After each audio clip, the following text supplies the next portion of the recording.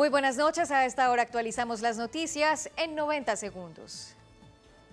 Las autoridades investigan la muerte de cuatro personas en medio de una protesta contra la erradicación de cultivos. Los hechos se registraron en la vereda Puerto Rico, zona rural del municipio de Tumaco, en Nariño. Algunas versiones indican que un grupo de hombres desconocidos lanzó unos cilindros de bomba en momentos en que un grupo de civiles protestaban contra el programa de erradicación del gobierno.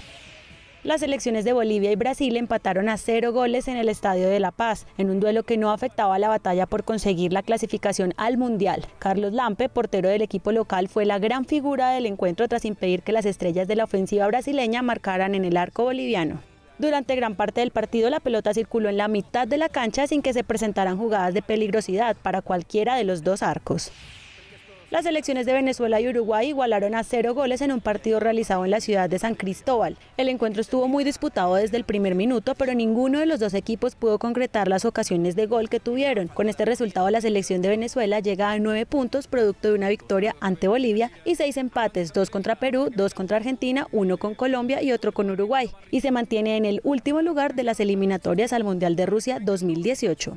Ampliación de estas noticias en nuestra emisión central a las 9 de la noche.